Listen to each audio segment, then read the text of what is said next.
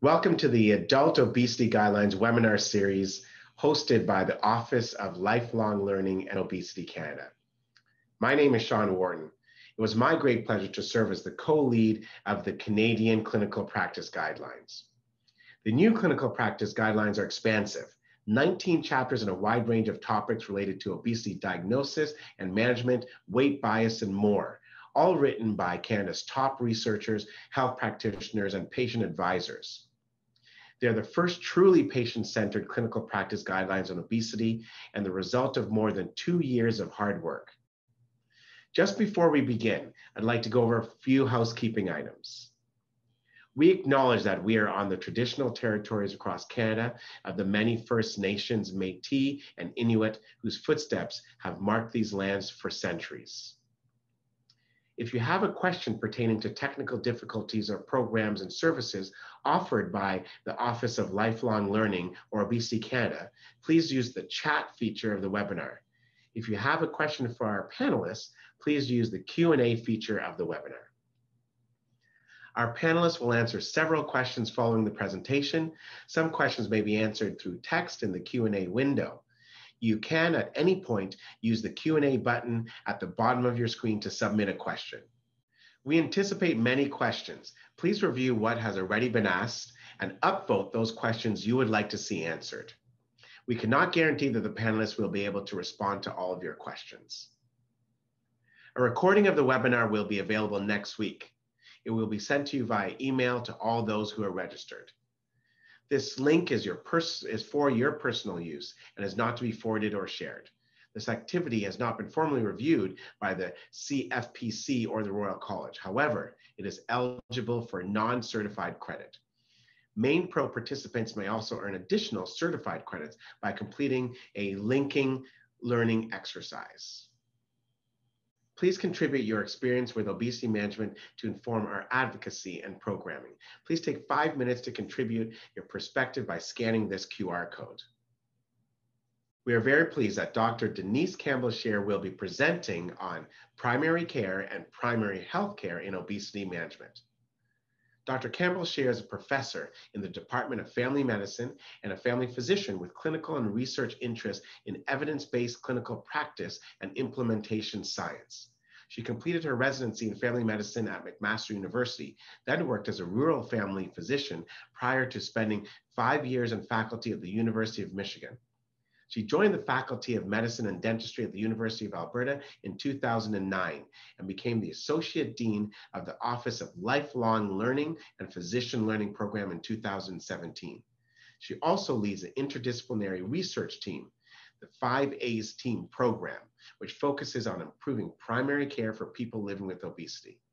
Dr. Campbell-Scherer served on the executive committee for the new clinical practice guidelines for adult obesity management and was the lead author of the primary care and primary health care chapter. The floor is yours, Dr. Campbell-Scherer. So thank you so much, Sean. I'm really pleased to be here to be able to present on our chapter from the guidelines, the primary care and primary health care and obesity management uh, chapter on behalf of myself and the colleagues uh, uh, that worked on this for a couple of years. Uh, when I was thinking about this webinar, one of the things that I was reflecting on was that the audience for the entire guidelines is primary care. And so, in many ways, uh, all of the different chapters really emphasize and support the key messages and recommendations that we want to have um, permeate into primary care and primary health care. So I've woven some of those things into this presentation as well, recognizing that um, for the story to hold together, uh, we have to point to several other parts of the guideline. So I uh, figure out how to advance my slides. Uh, so as uh, just to recap, as we've seen before, the definition of obesity, uh, we're really talking about a complex chronic disease, which is characterized by abnormal or excess um, adipose tissue, which is impairing health uh, and increasing the risk of long-term medical complications and reducing lifespan. And so that really gets into this huge erosion of knowledge that we've had over the last 15 or 20 years around the pathophysiology of this chronic disease. I mean, when I was in medical school, um, we didn't know about the gut microbiome and its effects. Uh, we didn't know about the complex genetics of this condition. Uh, we did we thought that adipose tissue was just a storage tissue. We had no idea that it was an endocrine active tissue. Uh, we didn't know about the difference between healthy adipose tissue and toxic adipose tissue. So there's been an enormous uh, amount of development of knowledge around the pathophysiology of this condition. And so we've really moved beyond the notion of it just being um, a, a matter of how large someone is. And really, it's moved into how healthy is someone. So that piece of background, which underpins the entire guidelines, the definition of obesity that underpins that entire guidelines, is really fundamental to the shift uh, that is happening, I think, in clinical practice. And because of the fact that this is all relatively new, uh, and people my age uh, did not train with knowing any of this, there's still widespread significant misperceptions uh, as to the nature of both the etiology and the effective management of obesity. And additionally, this is complicated by entrenched weight bias and stigma, as we've seen previously in the previous webinar in the chapter on weight bias and stigma. Uh, and so we really have to have a paradigm shift here in terms of how we approach this condition. Uh, and for us to really achieve that new vision of achieving primary care for people living with obesity that's consistently high quality and person focused is really going to require a change in knowledge and skill and practice standards and improved organization of care. And this was summarized beautifully by Dr. Dietz and colleagues in the Lancet in 2015 in their wonderful series on obesity. And it's our hope that with these clinical practice guidelines, um, it's another piece towards pushing us towards that future state of uh, more holistic, more person focused, more evidence based care for this chronic disease. And so, with that, I really want to rec recap this. Now, we have seen this previously uh, when we talked about the assessment chapter, um, but I want I think it bears repeating we have in these guidelines been endeavoring to move away from a definition of obesity that's just defined by BMI uh, to one that is more reflective of health. So it's irrelevant as to just how big a person is. The issue is whether or not there's excess adiposity, which is impairing physical and metabolic health. So that leads that we need to have a different classification scheme. And what we see here uh, is some of the fundamental uh, evidence for that. This is from Raj Padwal and colleagues, where they show when you look at NHANES data, uh, population data, that uh, BMI classification does not predict mortality. But other classifications, like the Edmonton Obesity Staging Scale, which is pictured here, does predict mortality. And this is where we think about the measure of mental, metabolic, and physical impact um, on the person. And uh, we'll have another graphic a little bit further on, which goes through the, um, in more detail, the classification of EOS. And this is the why. This is why we're moving to this. And in primary care, it's really relevant. So if I have a person uh, who happens to be a larger human, uh, who has a BMI of 35, they're a firefighter, and they are a massive wall of muscle and they are not having any physical or metabolic impairments of the fact that they are a larger human. They don't have obesity. You know there's no need for me to intervene on them. Similarly i, I could have a patient who has a bmi of 25 uh, perhaps from southeast asia with um, excess central adiposity who is uh, having metabolic syndrome or type 2 diabetes. Well, that we would submit that that person does have obesity. They do have excess adiposity, which is causing metabolic harm. So it's getting more into the impact of the adiposity on the person. And this is the classification scheme in a little bit more detail. So if you would like to have a copy of this, you can get this um, from the CMAJ article in the guidelines. It's in the supplemental materials. Uh, and um, it's reproduced from the article from Sharma and Kushner that was published in 2009. Uh, and you can see here the different staging of obesity and a little bit more of the details of the Edmonton Obesity Staging Scale classification. There are also um, in the literature other classification schemas which are uh, coming to the fore as the whole uh, discipline starts to grapple with this notion. Uh, but this was the one that we um, used for the guidelines. And there's some case examples you can see here in the gray boxes just by way of illustration. Uh, so this can be really helpful for us.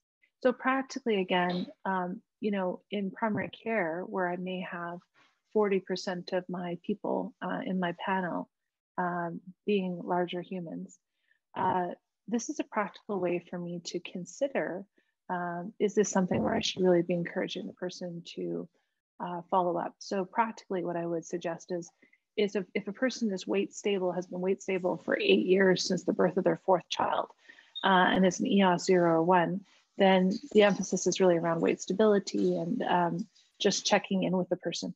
But perhaps if I have a person who's not weight stable and their weight is um, really skyrocketing, then uh, that's an appropriate opportunity for me to intervene uh, to try to assess what might be going on. Similarly, if I have people moving from some of the higher order stages, perhaps it's a, a good indication that that's a time for me to intensify my approach to treatment. So um, I also really wanted to highlight the very beautiful chapter on obesity management in Indigenous peoples. And we had an excellent webinar from Lynden Crowshoe and colleagues a few weeks back as well on this chapter. I find it very worth reading. Uh, and just really want to highlight that in, as primary care professionals, if we're caring for people, um, it's really important that we recognize that the causes of obesity are complex that there's unique personal and historic factors. And in the case of uh, First Nations, uh, there's issues with regards to colonization and residential school experiences, which affect people very deeply and affect their health and well being. Uh, and so we have to take that into account um, in terms of uh, working with people. And this is broadly true also for um, people with different lived experience, perhaps um, uh, refugees uh, with various traumatic experience, immigration trauma, uh, people who may have had uh, various experiences in their life that were very difficult. And that just really emphasizes that the point that obesity co-occurs and interacts with complex social, cultural, environmental, and patient behavioral factors. And so the key message here is that um, in order to effectively manage this chronic disease in primary care, we have to really embrace and understand and work with people to, uh, to understand their story and um, understand the implications and meanings of all of these things for people in their lives. And that might sound daunting, um, but practically, uh, it translates into much more effective care over the length of the relationship. So it's um, an investment in understanding, which will make everything else much more effective. So there's key messages in this chapter, um, uh, which are eh, the Indigenous chapter, which are about validating people's experiences of stress and systemic disadvantage, which influences poor health and obesity, and exploring elements of their environment where reduced stress could shift behaviors. And I, I find this very compelling. Uh, and so wanted to highlight it here in the primary care chapter because um, any solution has to embed with people in their life world. It has to make sense with, for them. It has to be manageable and achievable for them. Uh, and it has to resonate with them. And so this is uh, incredibly important. And then going the wrong direction. Um, so just in terms of methodology, and we've we've heard about this previously in some of the other guidelines. This is just the chart from the CMAJ article, which highlights the, the methodology of how these guidelines were developed, including this chapter that we're speaking of today. Um, but one of the things I wanted to mention that wasn't in this chart, which is in the text in the guideline, is that we also did look at qualitative and mixed methods research. And we're very pleased about that. That was a real discussion at the beginning of the guideline process. But the conclusion that we reached was that a lot of the clinical questions that matter to people living with obesity and the people that care for them um, are actually qualitative questions. And the proper methodology to address those questions uh, does not fill, fall in typical taxonomy of evidence that you see in a clinical practice guideline. So we took that challenge on and did have a number of questions throughout the guidelines um, especially the weight bias and stigma chapter, uh, but also in the primary care chapter, which were qualitative and mixed method questions. And the way we handled that evidence appraisal was that there was a group of us who were knowledgeable about the area. And so we did look at the various um, literature that came to the fore in the searching uh, in a structured way and uh, came to a consensus appraisal on level of evidence. Uh, so you will find guideline uh, recommendations in uh, that are based upon that evidence um, in the guidelines. So what are then the key messages for primary care providers? Well, I've alluded to some of them already, um, but I think the, the most important is this first one. And that is that primary care providers should initiate patient-centered conversations about overweight or obesity um, and that we would recommend considering the use of the five A's of obesity. That's the ask, assess, advise, agree, assist approach, uh, starting with permission to ask permission uh, to discuss weight. And that is probably the single most important recommendation the asking permission.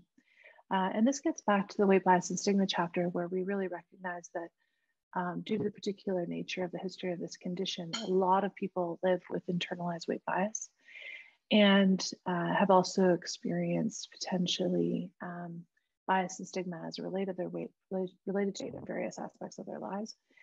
And so a lot of times those people have had not positive experiences in the healthcare space discussing this disease. So the act of asking permission to discuss is very respectful. And there's a, some excellent qualitative research which um, demonstrates that that act of asking um, allows people to be prepared and to decline at that time, but then to come back and say that they would be open to discussing weight. And it helps them to equalize uh, sort of their readiness to be able to speak speak about it with the practitioner. Um, and the second piece of that is um, actually initiating conversations. So if we see in our clinical practice that someone who has been weight stable for quite a while is no longer weight stable, it's good to ask them, would it be okay if we talk about your weight? Can you tell, share with me a little bit about what's going on? Because we know uh, if you uh, refer to the science of obesity chapter and the, and the associated webinar, um, once people have the uh, excess weight, it's extremely difficult to um, reverse that. Uh, and so there's definitely a role for prevention. And prevention of the excessive weight gain can happen from well-timed conversations in primary care earlier in the course of the disease to help modify and um, and help the person to be able to engage in, in management earlier. Uh, so in the second vein as well, we really want to promote this holistic approach to weight and health, which focuses on health behaviors and addressing root causes with care to avoid stigmatizing uh, and overly simplistic narratives like eat less and move more. Uh, and this really ties in as well to the weight bias and stigma chapter if people have received a message that they did this to themselves and that they are to blame, and if they had just tried harder or just did better, that they wouldn't have this problem, then they'd be very reluctant to seek care. Uh, and unfortunately, that's actually just not correct uh, when we look at the overall nature of this particular condition. So, what we really want to do is understand what people's root causes are of the weight gain. Uh, so, has someone been involved in a traumatic um, uh, experience? Have they been in an abusive situation? Have they uh, suffered with mental health concerns? Are they on medications for other medical issues where they've sustained excessive weight gain? Um, have they, uh, you know, been living in uh, poverty and been unable to have um, reliable, uh, high quality nutrition. Uh, what's been going on with this person in their life uh, that's resulting in them having excess weight? Do they live with chronic pain? Are they having trouble with their mobility due to problems with uh, urinary incontinence? And so we'll talk about this a little bit more on another slide later on in the talk around the four M's, but uh, it gets into what are the root causes and then really being holistic and understanding people, as we said before, their weight, their life, uh, and where their health behaviors um, are situated in that context. one of the things that's emphasized in the behavioral chapter as well is the importance of behaviors as a goal as and values as opposed to um, an actual number on the scale. And that's because one of the things that people can work on are their behaviors. They can set goals around that. They are not necessarily going to be able to control what their body does with that behavior. Uh, and so, if we focus on things that are within people's control, they're going to be much more likely to be effective. So, I just want to draw your attention to this um, graphic over the next couple slides. You can find this in the guidelines in the CMAJ article um, in the supplementary supplementary materials, and uh, it's the um, the framework for obesity management in the appendix two. And you'll notice here there's a couple of QR codes. So the top QR code will actually take you to the website with the different guidelines.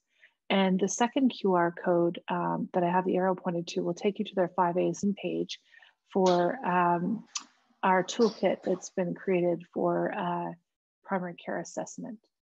Uh, and again, this uh, just reemphasizes the de definition at the top and emphasizes the importance of the ask with a suggested question that could be used. Uh, and then the assess. So going through the assessment, uh, we've had a whole webinar about that under the assessment page. Again, this emphasizes the value-based goals, the classification, considering the root causes and then assessing disease severity. Uh, and uh, there's the uh, lovely uh, webinar we had um, on assessment, which goes into all of this in a lot more detail. Uh, as well, as you can find some of the information on the QR code here. Uh, and then one of the things that's really important at the top here is that these guidelines emphasize that physical activity and healthy nutrition are mainstays of health for everybody whether or not people have obesity or not. So we definitely want to encourage everybody in those aspects because we want healthy humans. Um, and they certainly are important elements with regards to uh, weight management. So um, we do need to have a caloric deficit in order to actually have weight loss. Um, but uh, it's much more than just um, uh, quotes diet. Um, we need to uh, also understand where those excess calories might be coming from. And that's what ties into the psychological intervention. So, um, you know, are people eating for body hunger or are they eating for other reasons? Uh, and that's where there's the beautiful behavioral chapter and associated webinar, uh, which is really worthwhile uh, reflecting on for clinical practice. And certainly what the evidence does show is that multi-component behavioral modification um, is effective. But other things are also really important, like managing sleep and time management, stress management. You know, if we have patients who uh, live with uh, ADHD, they may be really struggling to manage their time in a way that makes it possible for them to um, prepare healthy meals, uh, do marketing, et cetera, be organized in those ways. So it's a very complicated, entwined um, set of conditions. Additionally, we have the cognitive behavioral therapy and our acceptance commitment therapy, both of which have evidence that could be helpful. And these different pillars are not intended to be linear. Uh, they are intended to interweave as is appropriate for the person. And they're on that solid foundation with regards to uh, good nutrition and activity. So the pharmacologic therapy, we had the webinar from Sue Pedersen talking about the current uh, approved medications uh, for the management of obesity. And uh, Stephen Glazer and colleagues presented on the bariatric surgery um, as well. So where appropriate, these are um, definitely things that need to be offered to patients. And uh, really worthwhile to look at your EOS classifications and really consider patients who are starting to get into those mortality uh, concerns with regards to obesity and really ask the question, you know, have we have we done everything that we can do to really help people with this condition? Have we offered them therapy, appropriate therapy? Um, and then as we highlight here as well, um, treating the root causes is fundamental. So if a person has is no longer weight stable because they now are not able to be as active as they were because they're having problems with chronic pain due to arthritis the management of that arthritis is obesity management because it is addressing the root cause that is making that person not be weight stable so um, i cannot stress the importance enough of being mindful of all the different things that could contribute to a person not being weight stable. And then we have the agree and the assist. Um, and that's very important. So understanding and working with people about what their value-based goals are and what's realistic and sustainable. One of the key things here is that we want to um, help people have a change that is doable and manageable for them in their life world so that we're not doing a lot of weight cycling, which we'll highlight in a moment. So again, um, obesogenic medications, as we alluded to, are very important. And it's something that I don't think is enough attention is paid to. Uh, we often think about other side effects of Medicaid, um, but we don't necessarily think about whether or not they're obesogenic. And it's important that we consider them and consider options. Uh, and then in people who are at risk for obesity, where we do need to think about a therapeutic option, which is obesogenic, to make sure we're monitoring for weight gain. Uh, and then again, the importance of prevention of weight cycling. So we want people to have sustained changes for healthy habits over time for the long term, not lots of weight cycling, which we certainly know from the science of obesity is detrimental to a person's long term success. So um, just want to highlight that uh, in the assessment chapter, uh, and we had heard about this previously, there is this table of really helpful table, uh, which highlights these different medications and options for them. So um, such a valuable resource and I encourage people to have a look for that. So in terms of uh, formal recommendations, uh, we do recommend that all primary care clinicians identify people with overweight and obesity and in initiate patient-centered health-focused conversations with them. We recommend that healthcare providers ensure they ask people for their permission prior to discussing weight or taking anthropometric measurements. Uh, very important that we ask people before we measure or weigh them. Uh, also, just really want to draw your attention to the weight bias and stigma chapter, as well as the primary care chapter, where we have um, things that we can do in our um, offices to make things feel more comfortable for patients. Things such as having the proper size breast blood pressure cuff at the ready, or having a scale in a discrete area um, where people can have some privacy when they're um, being weighed proper size seating so that people can sit comfortably in their medical home and uh, feel that this is a place that is made for them. Thirdly, uh, primary care interventions should be used to increase health literacy in individuals' knowledge and skills about weight management as an effective intervention to manage weight. Uh, and that was uh, very strong evidence and very interesting. Uh, so uh, once we actually do get involved with good conversations with people, important to try to assess what they understand uh, and then uh, offer them opportunities to uh, build knowledge and skills um, to be able to have some control and self-efficacy about managing their weight. Uh, as was highlighted in the behavior chapter, our independent, independent review and the primary care chapter of the literature came up with a very similar recommendation um, that multi-component programs with personalized obesity management strategies are effective uh, in helping people with obesity management. And um, additionally, that we can use collaborative deliberation with motivational interviewing to tailor action plans to people's life context in a way that's manageable and sustainable to support improved physical and emotional health and weight management. So one of the things that we did ask uh, as well in the guidelines was uh, in the questions, the PICO questions for the chapter was uh, the features of care and primary health care based interventions uh, for clinicians and developers of interventions. And uh, one of the things that came out was that interventions that target a specific ethnic group should consider the diversity of psychological and social practices with regards to excess weight, food, physical activity, as well as socioeconomic circumstances as they may differ across and within different ethnic groups. Uh, and uh, that's just a fascinating area uh, to really understand that um, some of the ways that different people are acculturated to think about excess weight um, vary dramatically across cultures. Um, so, for example, uh, we're working currently with some people from West Africa where in their language they don't actually have a word for obesity. And in fact, um, being phenotypically larger is uh, very beautiful and a very desired state. However, there is a lot of concern in the community around type 2 diabetes. And that gets into this notion again of um, uh, adipose tissue, you know, in a place we don't want in the pancreas, uh, causing toxic effects. And um, we know that uh, interventions uh, such as increased physical activity can help with some of that visceral fat and help with the type 2 diabetes, quite independent of the actual body mass. Um, so, thinking about some of these elements that it's not necessarily one size fits all uh, as far as um, understanding or practices is very useful.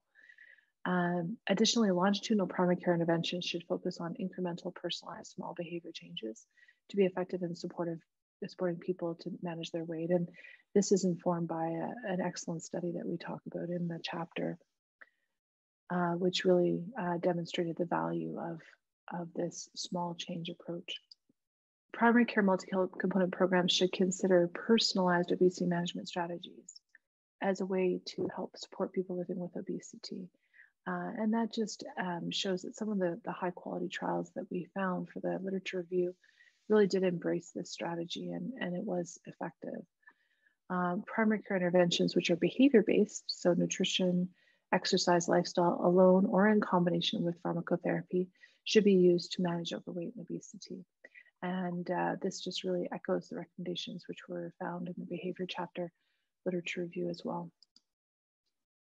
So uh, there was good evidence for group-based nutrition and physical activity sessions informed by the diabetes prevention program and the Look Ahead program, uh, which should be used for effective management options for adults with overweight or obesity. So there's a couple of excellent examples out there of things that are effective uh, that could be used to guide consideration of how we might design programs and uh, interventions that use technology to increase reach to large numbers of people asynchronously should be a potentially viable lower cost intervention in a community-based setting. Now, there's also an entire chapter of the guidelines about technology, uh, which is very interesting. And I think it's uh, an emerging area where there'll be lots more work done over the coming years. And this uh, last recommendation is really near and dear to my heart um, because it really reflects um, the gap that currently still exists between the absolute avalanche of knowledge that we have learned over the last 15, 20 years about obesity and the fact that it's lagging to get into practice and lagging to get into educational programs. And um, again, this was highlighted in that Lancet series by Dietz and colleagues. Uh, so we really recommend that educators of undergraduate, graduate, and continuing education programs for primary healthcare professionals should provide courses and clinical experiences to address the gap in skills, knowledge of the evidence, and attitudes necessary to confidently and effectively support people living with obesity. I often think of obesity as similar to depression 50 years ago, uh, where people didn't know how to approach it, didn't know how to discuss it, uh, it was taboo. Uh, people were stigmatized. There weren't effective treatments. And um, the sea change that's happened with that now, where every single junior medical student is able to confidently assess uh, depression uh, and um, has the skills to be able to open those conversations with patients. Uh, and our hope is that it won't take 50 years to get there for obesity, um, but that we can get the ball rolling on this sooner. So, in terms of key messages for people living with obesity from the literature review for this chapter, uh, the first one I think is the one that's most important, which is prevention of weight gain is crucial and realistic. Um, so, weight loss is potentially very difficult depending on a person's weight drivers as well as their um, own individual biology. So, uh, the prevention aspect is crucial. And setting a value based functional goal that shifts the focus from weight to health and quality of life may help with sustainable changes. So it's not all about perseverating around a number on a scale and feeling good or, or bad about a number. It's about what are the behaviors and the values that um, matter to a person and that are things that they can connect with and uh, really work to try to achieve in a way that feels good for them. Uh, and many medical issues, such as disrupted sleep, pain, mechanical problems, metabolic conditions, psychiatric conditions, can contribute to challenges with weight, with weight management over a person's life. So just really encouraging people to seek medical help if they're struggling with weight maintenance or gain. And I'm going to show the four M's again that we saw in the assessment webinar, but uh, just for people living with obesity to be dialed into the fact that um, these are different things which can upset the apple cart and help people find it more challenging to manage their weight. Uh, and so to reach out early if they're experiencing these things uh, so that they can get back to um, being able to be active and take care uh, and, uh, and enjoy life. Additionally, when people are prescribed a new medication, um, particularly if medication is intended for long-term use, people living with obesity uh, should inquire about the potentially associated weight effects. And this ties into the recommendation we had for providers above. Uh, and increased nutritional nutrition counseling can result in modest reductions in weight waist circumference. Uh, and so we do have the uh, entire nutrition um, chapter and uh, webinar, and I think that's so incredibly important and such a mainstay of all of the management piece. So mindfulness and acceptance and commitment therapies together with multi-component behavioral interventions may be considered in developing a personal weight management strategy as well. And uh, there's certainly more detail on that in the behavioral chapter. So this is a really interesting exercise to be involved with these guidelines from their inception. And um, so grateful to all of you for being here for the webinar and being interested in learning more. And there's a link here on this page uh, to the full guidelines as well. Uh, and so I'll turn it back to you, Sean.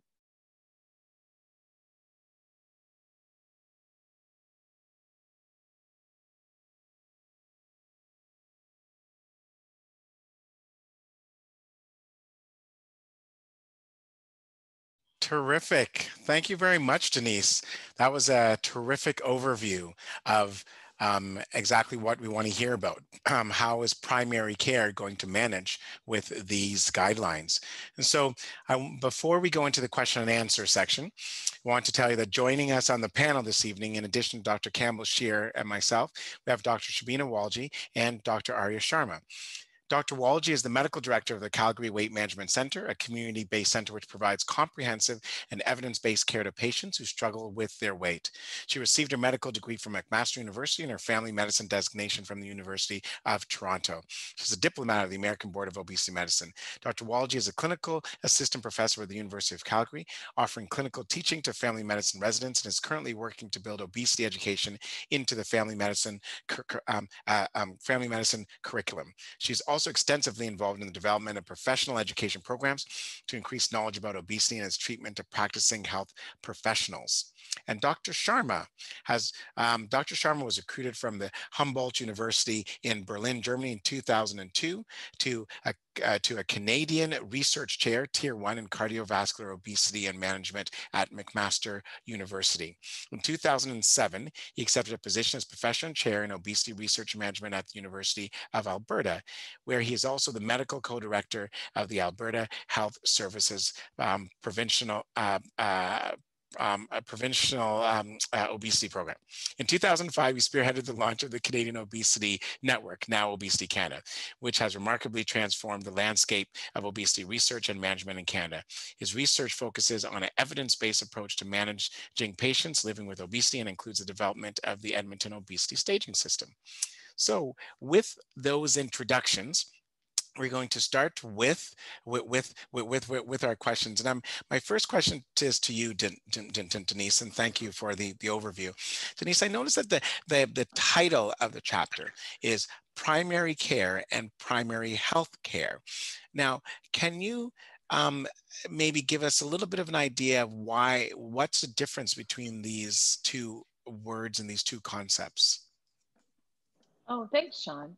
Uh, yeah, so uh, in our chapter, we were wanting to be inclusive of things that were happening in primary care. That is to say, within uh, the medical home, so within the practice or within a care structure directly related to the practice. Like in Alberta, we have primary care networks, and in Ontario, they have um, family health teams and other kinds of constructs.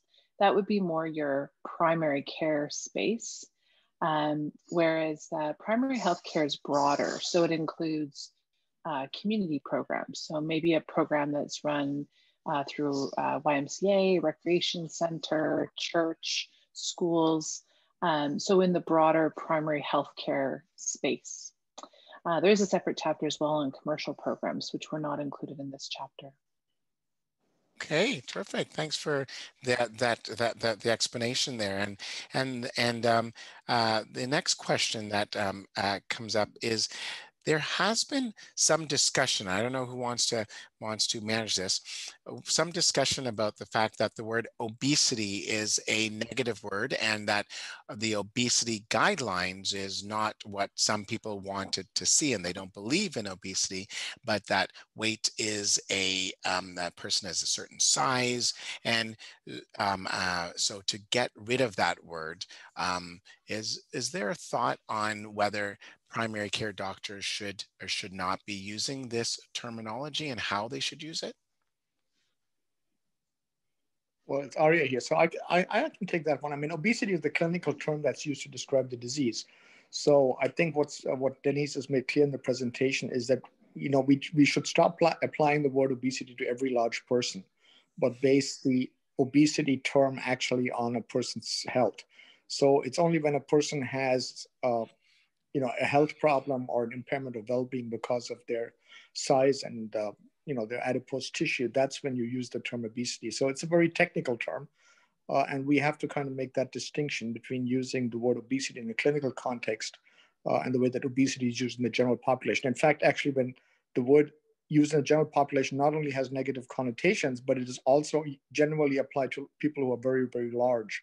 So in fact a lot of people who you know, based on the clinical definition of obesity would have obesity would actually not consider themselves to have obesity uh, because their idea of obesity is this very, very large 400 pound person who's sitting in their basement. That's obesity for a lot of people. Uh, so we have to explain that and we have to change the term. So we don't do that by picking another term or inventing another term, but really by making sure the patients understand what we mean when we use the word obesity in a clinical context. Great, thank thank you, Arya. Excellent. Um, and, and now I have a question for both um, uh, Denise and, and Sh Sh Sh Shabina. Maybe we can have Shabina uh, talk, look at this first. Is, so right after the obesity guidelines were launched in, in, in, in, in August, matter of fact, just a, um, a few weeks after, a piece in the Medical Post was written by a family care doctor in Sudbury, Ontario, who was very upset about the obesity guidelines because um, and stated that she feels that her patients have elevated weight because they are they are not accountable. So they are they have non they have non accountability and also felt that her patients were were incensed or angered when she told them that pierogies were not a good food choice and that they had too many excuses for not exercising and that the government should put up billboards stating that people need to move more and exercise and um, uh, simple messages. Now, this is clearly an example of bias um, and uh, overt bias. Do you think this is common with um, doctors? Is this just her, or do you think it's 10% of doctors across Canada or 60? Are we the minority? Um, uh, and that most doctors feel that accountability and a lack of accountability is the problem and people need to eat less and exercise more. Dr. Walji. Yeah, so thanks, Sean. That's a great question. Can you hear me okay? Yes, we can hear you. Yeah, okay. Um, so, you know, I think that whole um, episode, if I can call it that, really is um, a reflection, I think, of the deficiency in knowledge and understanding of obesity in healthcare right now. Um, and so, are we the minority? Um, maybe, you know, because physicians and other healthcare providers don't actually learn a whole lot about the biology of weight regulation, the biology of eating behavior, the pathophysiology of obesity. So, to me, that really speaks to the knowledge deficit and the lack of understanding of obesity. And it's unfortunate because, you know, that really just feeds bias and who experiences um, um, really the, the outcome of that bias, our patients do. Um, and so, certainly, I've had a number of patients who have spoken to clinicians um, in, in every dimension of healthcare um, and had really um, negative experiences. And um, you know, and then so it's up to us, maybe the minority, to um, educate our peers and to educate patients, you know, about really the realities of obesity and body weight regulation.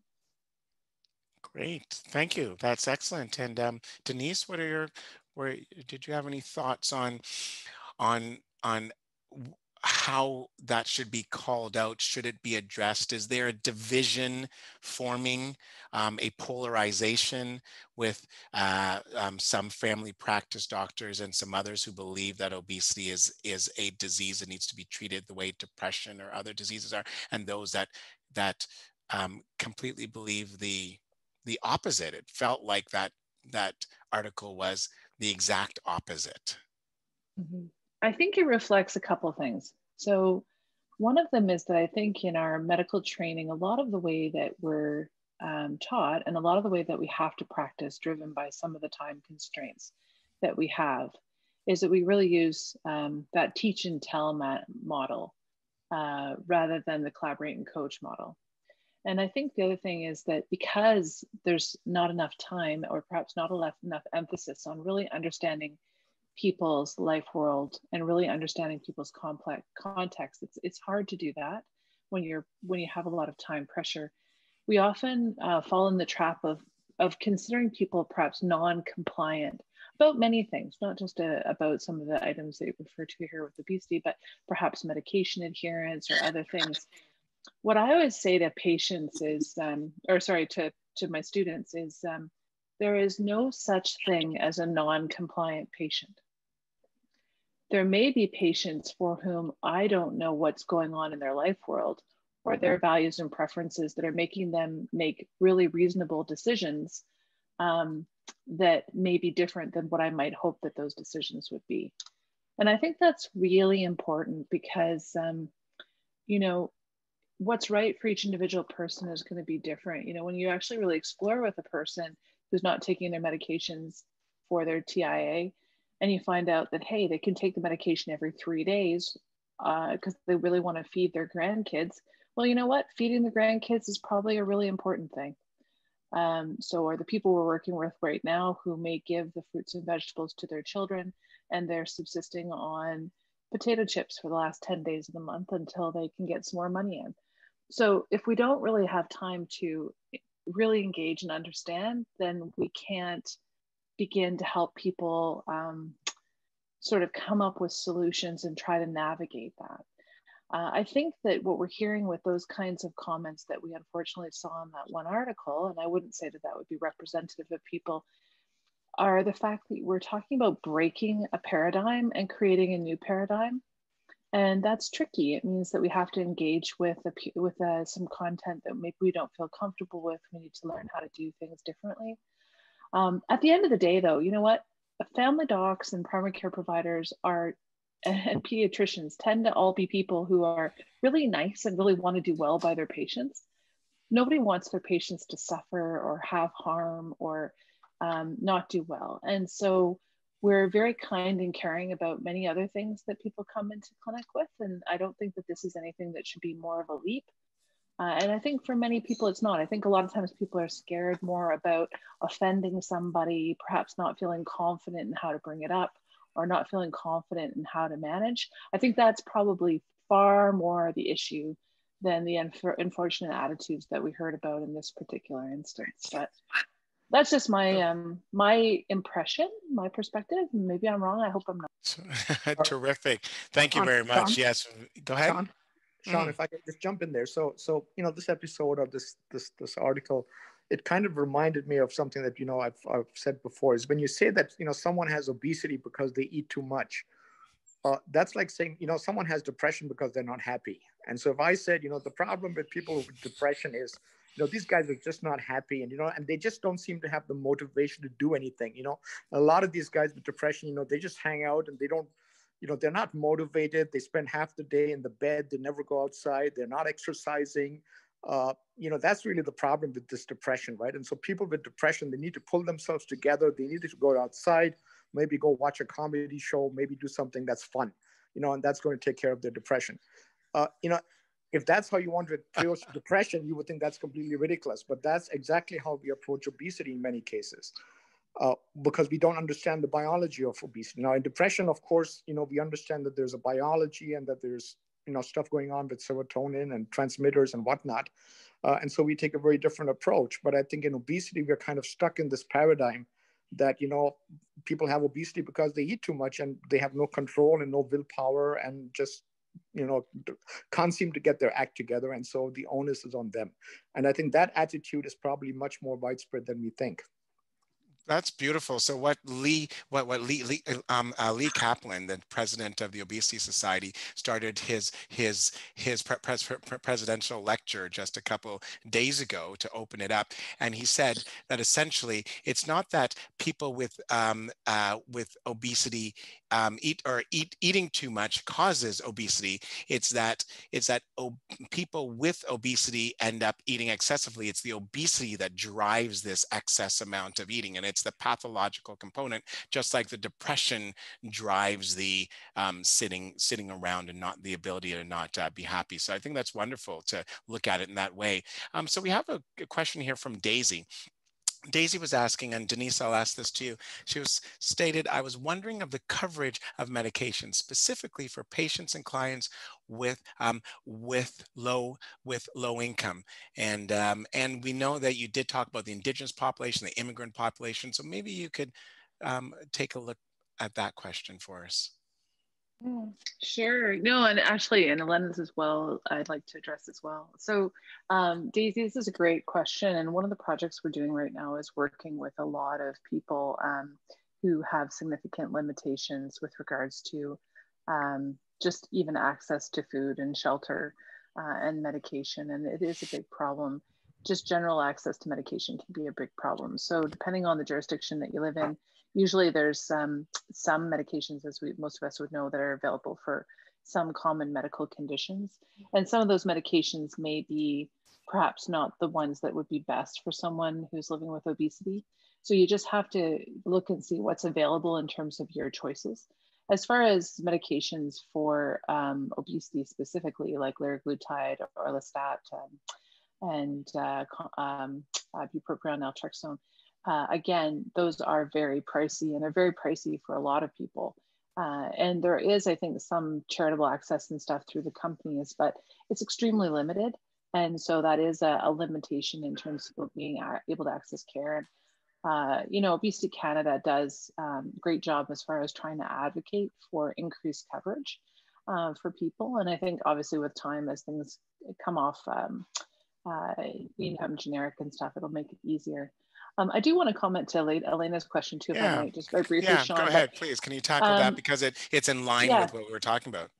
Yeah, so absolutely. You know, there's no doubt that you know a part of obesity management is working with people to make sure that they're informed about their choices um, and that they that you explore that. But I mean, I you have to also integrate it with people's life world. You know, again, if people are living on food bank offerings and they don't have food in the cupboard, then the choices that they have may be very, very limited. Now, there's different things that are happening in communities around community gardens and uh, other aspects where people can try to have some access to healthier food.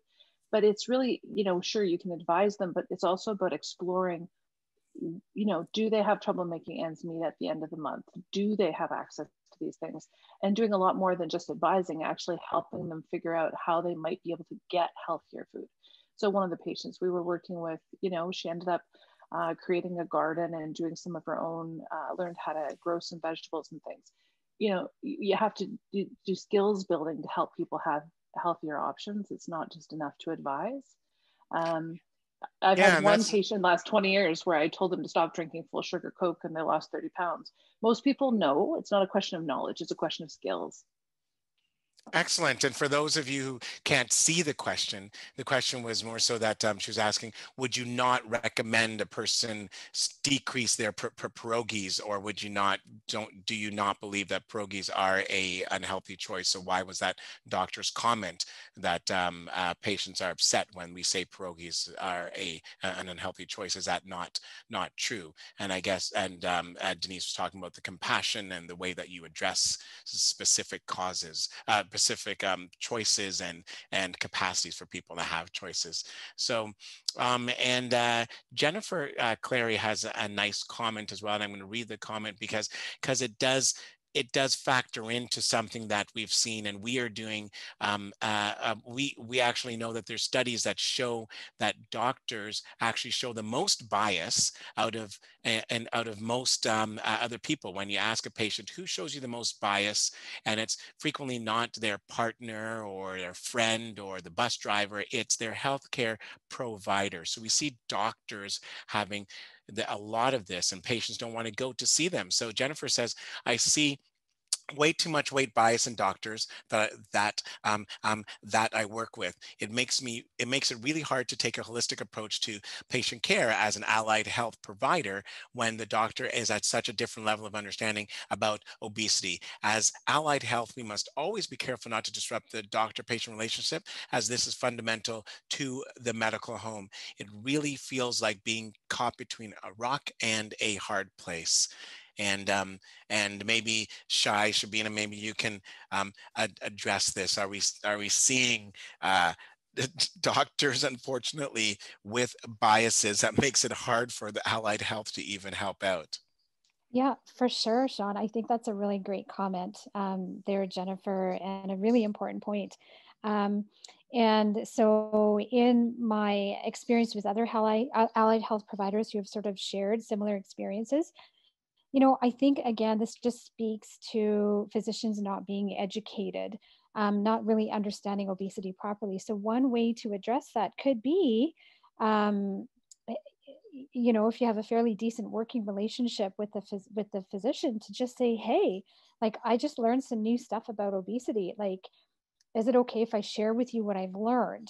Um, and so, kind of like you know, how we would ask permission with a patient, sometimes we need to ask permission with our colleagues just to share with them what we know. And, you know, if you get kind of a green light to do that, that again is a, a great educational opportunity to say, hey, did you know, you know, that these are all the factors that are involved in obesity. And did you know that there's these new guidelines that are out that are suggesting we do things this way? And it, it might be kind of a step towards uh, changing that physician's understanding of obesity and maybe how um, he or she interacts with um, with his or her patient.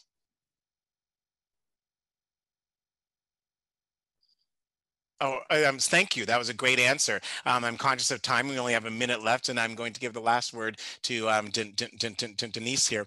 Um, Denise, um, uh, there's been some research now showing that pay, uh, physicians are, are they uh, primary care doctors can easily talk about the fact that um, what the obesity causes in terms of the diseases it causes, but they have difficulty in discussing, uh, understanding why their patient doesn't want to talk to them about elevated weight. So there seems to be a disconnect. Easily talk about obesity causes problems, not easily address why the patient doesn't want to talk to them. And that's been shown in a recent research study. What are your thoughts on that? And that will be our final word. I think that's really interesting. I um, I think it's probably to do with, as you said, what experiences people may have had before and how they perceive that they're going to be um, handled when they bring these things up. And that's why it's such a change for all of us to learn to learn new ways. And I, you know, I think back to the first 12 years of my practice before I learned any of this material and I was at sea with this content. You know, people would ask me questions and I really wasn't very effective. I didn't know how to be helpful. I wanted to be helpful. I had no idea how to be helpful. And um, so there was a really good shift um, after I started learning more. And I think as people learn more, they'll be able to have more comfort with that. And so hopefully people will um, experience more welcome um, interactions and they'll be able to be more open. One of the things that shocked me when I started doing this work a little bit more in detail was patients who I'd known for many, many years who confided to me in me about um, some uh, trauma, traumatic events and abusive situations that they had experienced. And I hadn't known about those things. And I had sort of had this hubris that I knew my patients, but I actually really did not have some of that stuff.